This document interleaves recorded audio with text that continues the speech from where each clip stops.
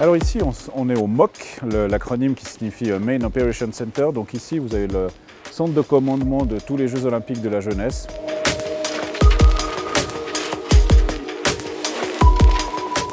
Alors les principaux défis à relever au MOC, c'est de gérer l'inattendu. On a élaboré toute une série de plans, on a une centaine de plans de réserve en cas d'incident.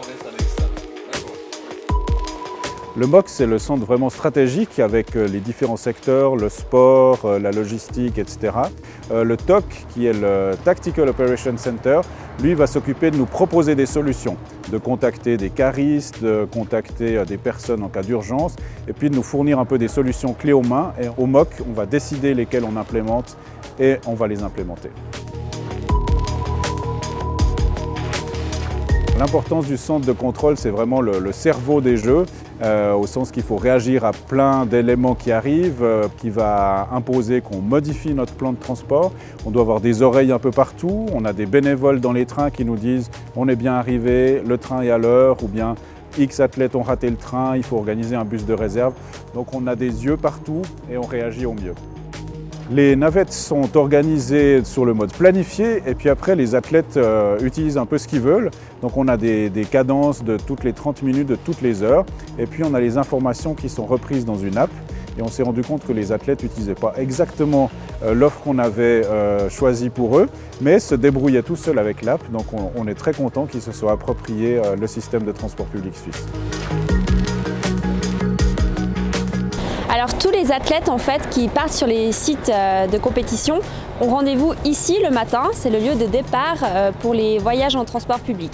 La majorité des athlètes qui se rendent dans les Alpes vaudoises vont utiliser le bus navette qui est ici pour se rendre jusqu'à la gare de Lausanne, tandis que ceux qui iront à la vallée de Joux utiliseront le M1 euh, pour se rendre jusqu'à Renan et ensuite prendre le train jusqu'à la gare du Sentier Orient.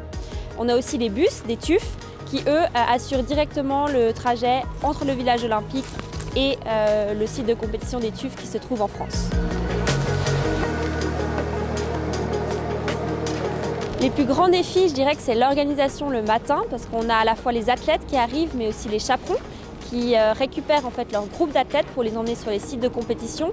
Ça demande une certaine logistique, une certaine organisation, un briefing des équipes. Euh, maintenant que tout a été mis en place, c'est quelque chose qui, fonctionne bien. Alors la météo est un défi dans le sens qu'on doit être prêt à réagir à diverses situations.